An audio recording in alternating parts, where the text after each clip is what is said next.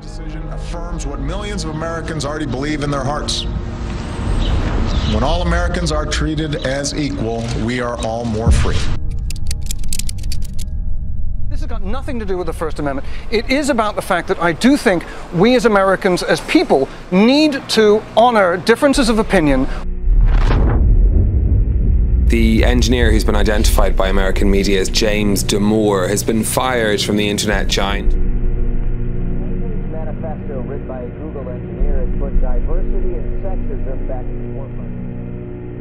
This after he wrote an internal document asserting that there were biological reasons why men and women weren't equally represented.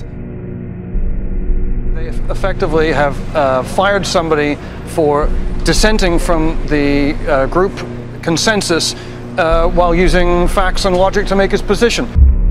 Yes, the USA heralds itself as the land of the free and the home of the brave.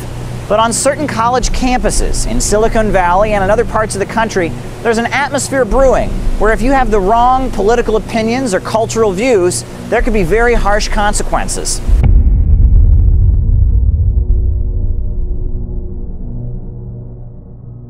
What subversion is? Basically, it consists of four periods, time-wise.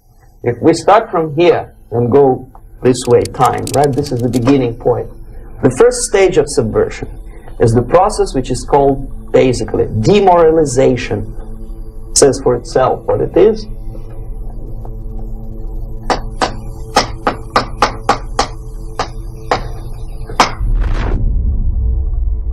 And we believe that sexism, racism, homophobia, and bigotry have no place in this country. Damore told CBS News that before he was fired, he complained to the National Labor Relations Board that Google was trying to silence him.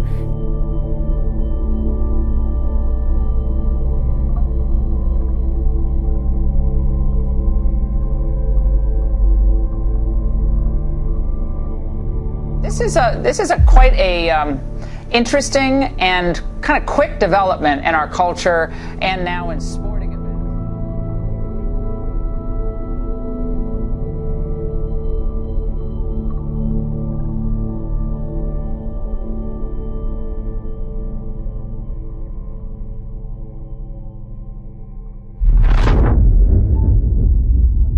moment you, you bring a country to the point of almost total demoralization, when nothing works anymore, when you are not sure whether it is right or, or wrong, good and bad, but there's no division between evil and good.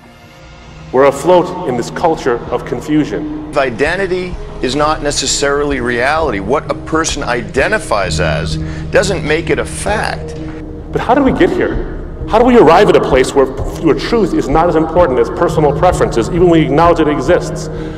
Are people not happier these days, as one writer puts it, to live in worlds built out of our own facts? What if there was a place where the unthinkable didn't happen and life could continue for progressive Americans just as before? Now there is. Welcome to The Bubble. The Bubble is a planned community of like minded free thinkers, and no one else. However, when I read the memo, look, even if you disagree with every single point he made, I felt he made his points in a logical,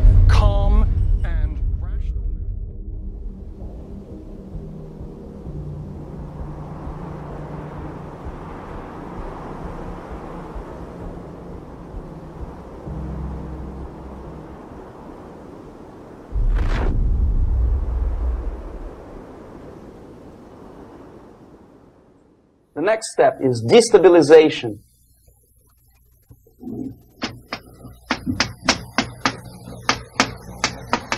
Again, this word says for itself what it is to destabilize all the relations, all the accepted institutions and organizations in a country. But what makes this summer program unique is the campers it serves transgender children, some as young as four years old. It's a place where they can use the pronoun of their choice. But these few people who I think have lost their true identity are breaking up the truth for the rest of us. It's a very big threat to our culture.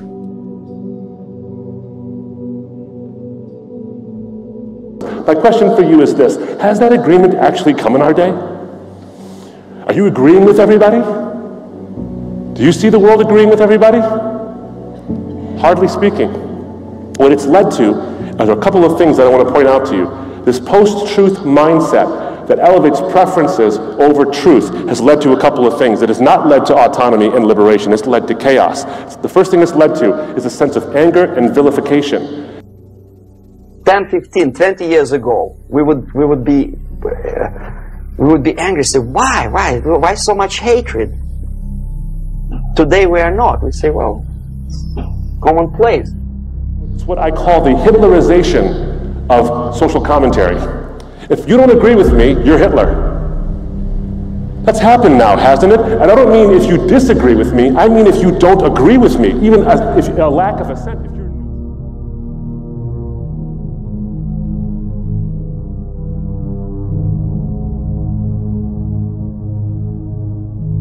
Particularly at a company like Google, which basically controls our information flow, these guys, for these guys to start basically saying this is acceptable, this is not acceptable, is really quite dangerous. I love that line about because he was walking around as a man, no one even noticed he was pregnant. They yeah. just thought he had a beer the belly. Beer, the beer belly, beer that's right. And sharing it on social media so that everybody can understand and learn a little bit more about it is great. Like a virus taking over a computer, the mind that writes the sentence, transgender man gives birth to a boy, has been completely corrupted by political pressure. They actively include themselves in a political process. All of a sudden, we see a homosexual. 15 years ago, he did his dirty job and nobody cared. Now he makes it a political issue. The law of the jungle, not the law of civilization.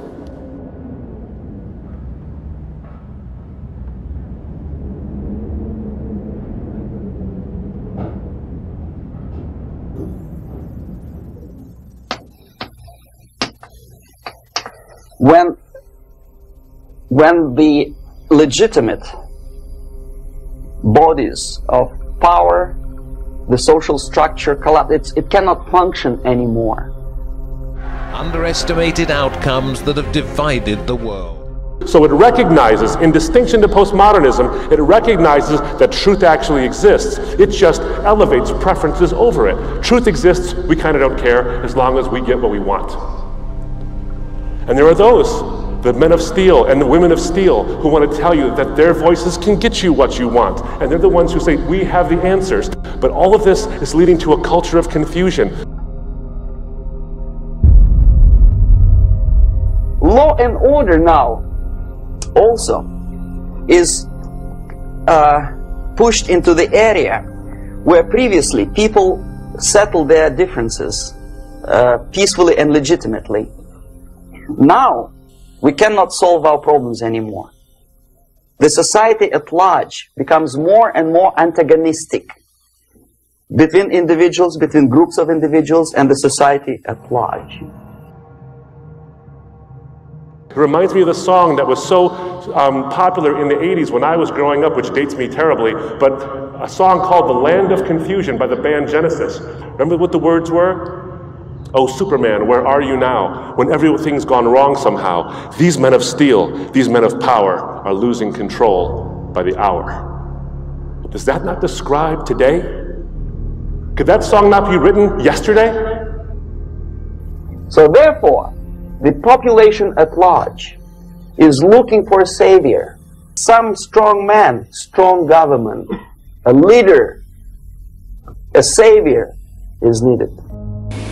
This nation was founded by men of many nations and backgrounds. It was founded on the principle that all men are created equal.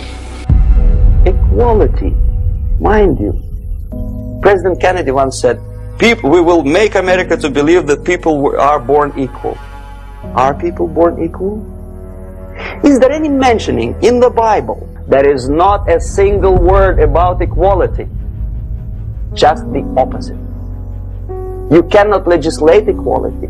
If you want to be equal, you have to be equal. You have to deserve it.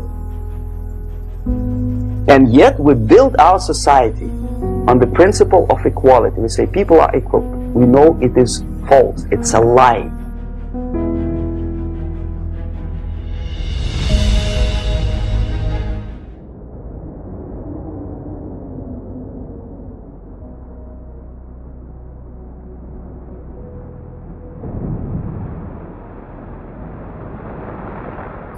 Material values are good, but it's not the prime function of human being. Because you have to live with something. Obviously, the design for our life is not to consume more deodorants. there must be something greater. If such a complicated instrument as human body was created, obviously there must be some higher purpose for that. Do, do any one of you here think that what we're seeing has been um, detrimental to society as a whole? Well, I think the loss. I, I, mean, if you start to disagree about how to establish, how to see truth and how to establish it and agree what it is, then I think you're in some danger. We recognize truth but subordinate it to preference because we have sacrificed truth and clarity on the altar of human autonomy. I'm a law unto myself. I get to decide what's right and wrong for myself, and you get to do the same thing. The problem is when we collide. If I'm a law unto myself and you're a law unto yourself because we're so autonomous, there's going to come a time when my set of values is going to collide with your set of values. But truth is under a lot of attack. Mika, you wanted to say something, please do. Well, how do you define truth? When we remove the boundaries, remove the fences, we lose that sense of purpose and we lose that true freedom. Have you ever met a person who would sacrifice his life, freedom, for the truth like that? This is truth. I never met a person who said, This is truth and I'm ready to shoot me. to defend the truth. Bible is not against your freedom, it's very much in favor of it because it doesn't want you to result in chaos. And Jesus claims to be the true source of that freedom. And he makes a statement that's pretty interesting. He says, Freedom is inextricably intertwined with truth. Something which is not material moves society and helps it to survive. Now,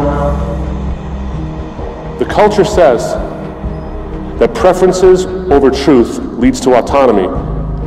The Bible points out that autonomy over truth leads to chaos. But Jesus says that he is the embodiment of truth and he sets you free. And the other way around. The moment we turn into 2 by 2 is 4 and make it a guiding principle of our life, our existence, we die. Even though this is true, and this we cannot prove. We only can feel and have faith in it. So the answer to ideological subversion, strangely enough, is very simple. You simply have to have faith. He doesn't tell you. See, Jesus is not a post truth man. A post truth man would tell you what you prefer to hear, not what's actually true. Jesus tells you what is true, not what you want to hear. He's not trying to sell you something, he's trying to tell you like it is.